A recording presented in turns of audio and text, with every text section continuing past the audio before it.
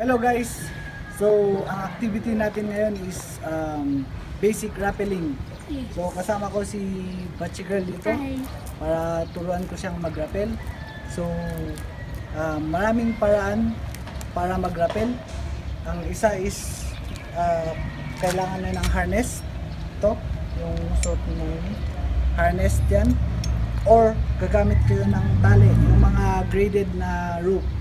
Yun ang pwedeng gamitin.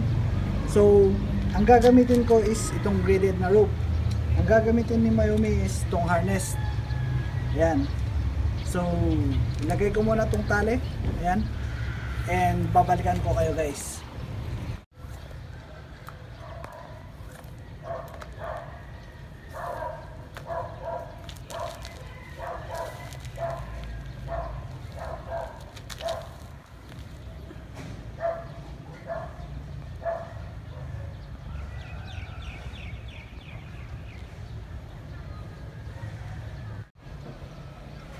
So ayan guys, nakayos na yung sa akin, Yeah. yung tali. Ang gagamitin ng Mayumi is yung ah, harness niya. So, ah, ito, ito yung ano, ito yung pagpapaktisan lang namin. Ganyan lang siya kataas. May cushion tayo just in case. So ayan, ah, Mayumi on the go. Go.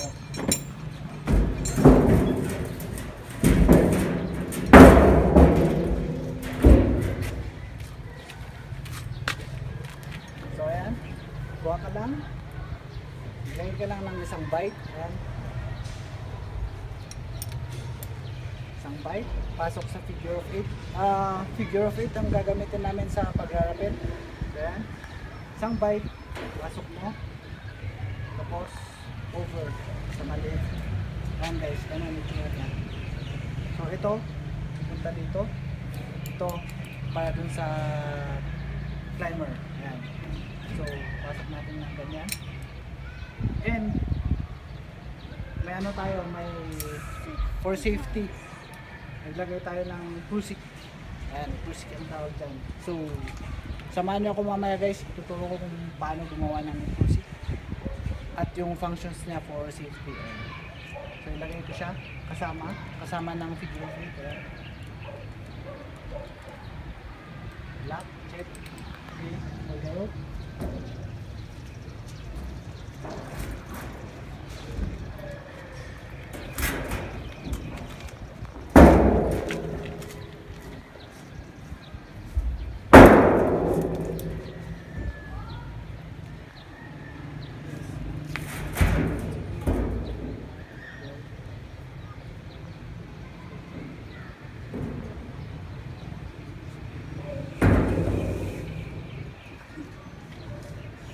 Ayan siya guys.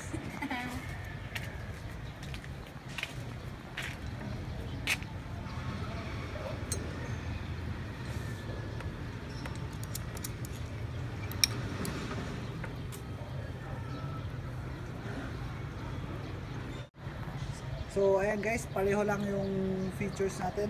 Tali lang ang suit ko. Kailangan lang natin ng isang carabiner, figure of 8, tapos same procedure.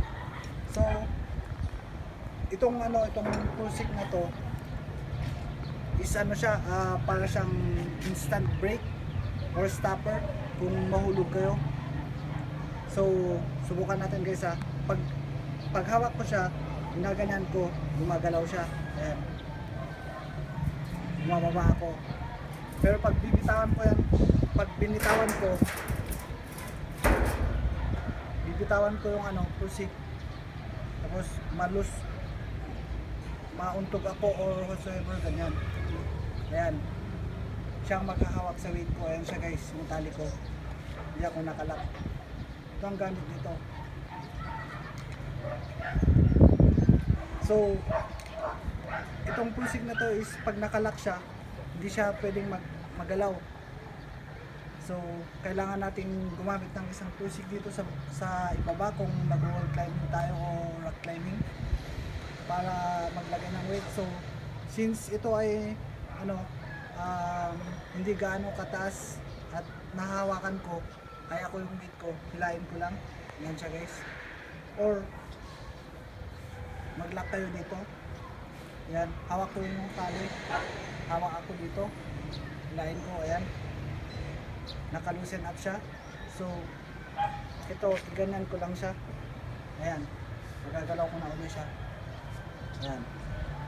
So, okay na siya. Lock. Hawak ako. Ayan. Kita nyo guys. Magalaw ulit ako. Pero pagkabibitawan ko, ayan, instant na maglalak siya. Yun ang gamit itong pusik for security and safety din.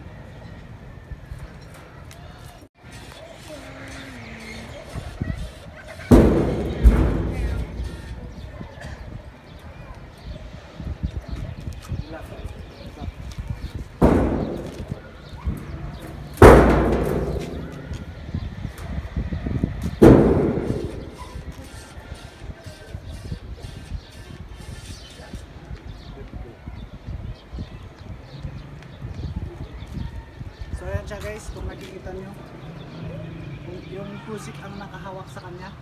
Ayan. so nakalibre lang yung tali. So pag may ah, force na instant force automatic na mag-lock siya mahulog ka. So yun ang kinaganda ng feature na to. And ah, kayang kaya mong gawin to. Ayan siya guys. So ba ako see?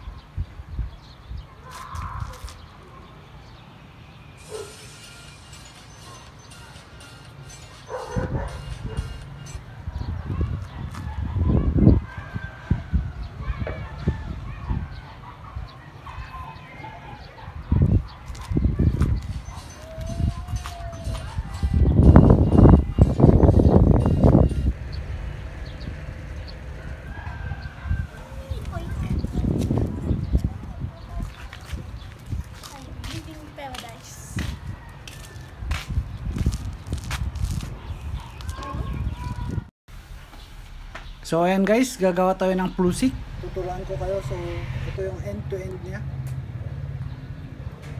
Ganyan siya guys. Ayan. Ganyan.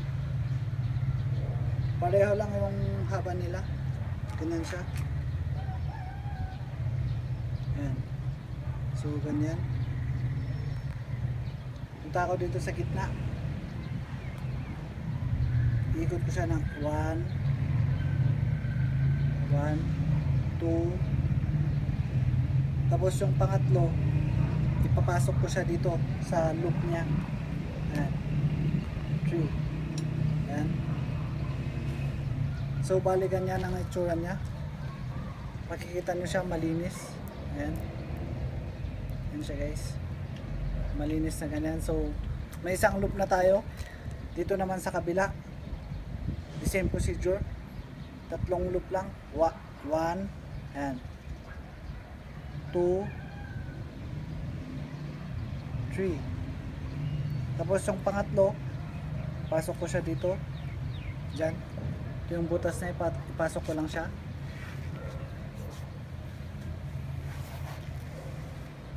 And then hila. So ayan na siya guys. Bali dalawa.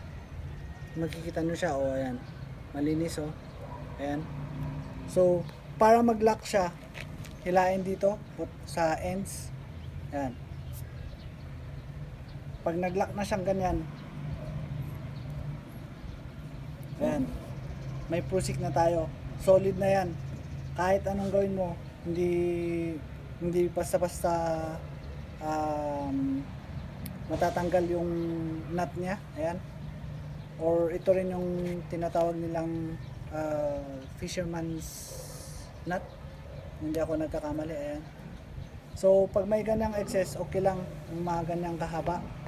Pero kung mas mahaba pa pwede nyo siyang i-loop uli ayan.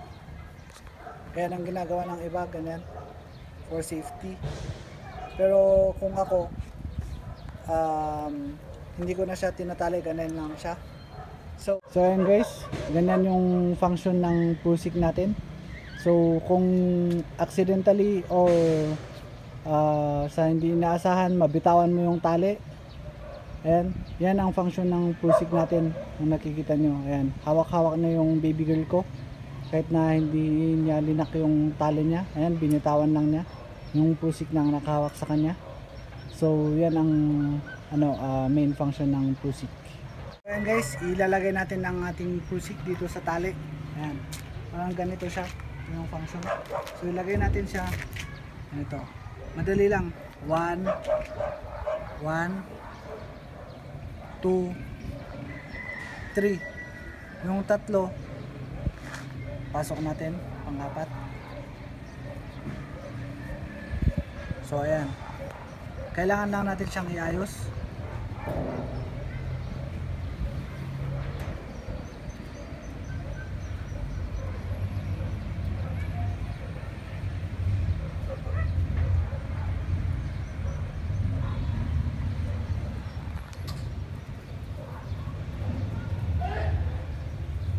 Ayan. So, pag, pag hindi ito nahigpitan, pag hindi ito nahigpitan ng maayos, gumagalaw lang siyang ganyan. So, kailangan natin siyang higpitan. Ayan. Ayan siya. Hilain mo. Pag bababa ka. Pag biglang hila, tingnan nyo guys ha. Ayan. Hihinto siya. So, ayan siya. So, yan ang main function ng pusik natin. Ayan. So guys, kung nagustuhan nyo ang aking video, please subscribe and uh, hit the like, like, like button. button. So guys, let's enjoy Mother Nature and enjoy the outdoors. So guys, See you around.